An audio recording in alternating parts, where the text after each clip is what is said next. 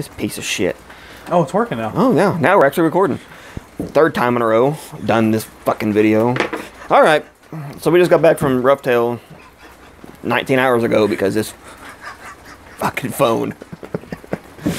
Uh, third time's the charm. Trying to use this fucking thing and it's not working too great. Testicles? One, two, three.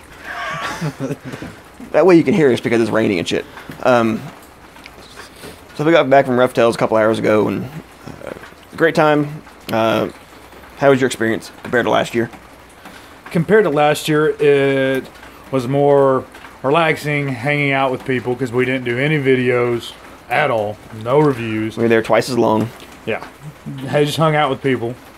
Cons.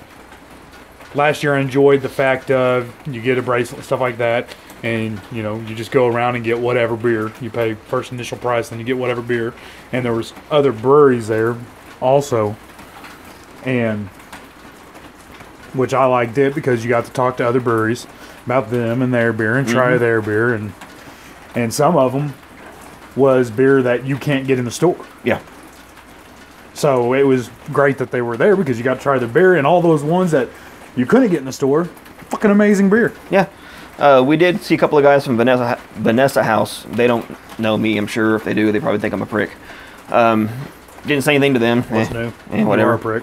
I this year was about me enjoying the damn moment. I'm not going around trying to solicit nothing. I'm not going around trying to do anything. It just or any. yeah, I don't care. Uh, this is about hanging out with Jesse and Newman and his girlfriend and Travis and his fiance and running into fellow reviewers and yeah, uh, Patrick making it grain, uh, Chris. Uh, it was a great time up there. Cape. Um, I will say the the Crowler area It was probably the biggest downfall for me. For uh, I mean, it, sure it's cool for sales. Uh, the lines were long. A lot of you know, pretty much a third of the people there was over in the Crowler line area, completely separate away from Roughtail. Um, and that's where most of the people hung out all day. oh yeah, there were people there with their trunks open, Yep. music going, and chairs sitting out and just chilling over there Yeah. by the Crowler. Um, Not even over at the actual party. or some people I wouldn't I wanted to see. Uh, I did see Will. Um, he was one of those people that hung over there all day. Um, you know, we just kind of a hit and miss on on Facebook Messenger. I wasn't going to abandon the people I was already talking to just to go over there and say what's up. Um, we did pick up a four pack of the, the fourth anniversary ale. No. We'll be uh, reviewing that tonight. Gave one to Tom. Yep. I got some other beers from Tom. Tom Chalice. Great Good guy. dude. Uh, what all beers do we get? We got the Wheat Dreams, Hoptometrist, Hoptometrist with grapefruit. Um, Hop Thomas Curry. oh, that was the best. That was the, The best. highlight of the day. Yeah. That was badass. They have to can it. They Told have uh, told Blaine and I told uh, uh, fucking name just forget me. Tom, No. Tim, Jace, Bond. Son of a bitch. We just said it in the other Tony. video that don't fucking. Fuck there me. it is, Tony. I knew it was a T. Shit. That they have to can it. Um, it was awesome. Yeah, it was great beer.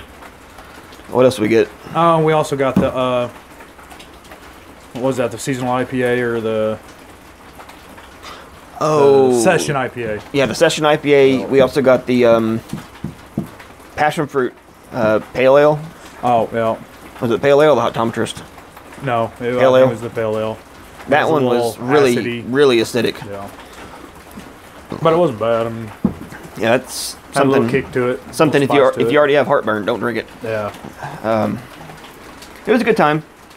I there was you know it's kind of hit and miss on on drone deal that was badass Yeah, that that was was cool sweet. That, that gave good interview the first you know couple hours there you know everyone was hanging out talking drinking and then watching the drone drops and stuff and then it seemed like it kind of died down once the drone deal was done you know what Yeah. i mean there wasn't really nothing going on that was catching people's attention Yeah, about five o'clock it was.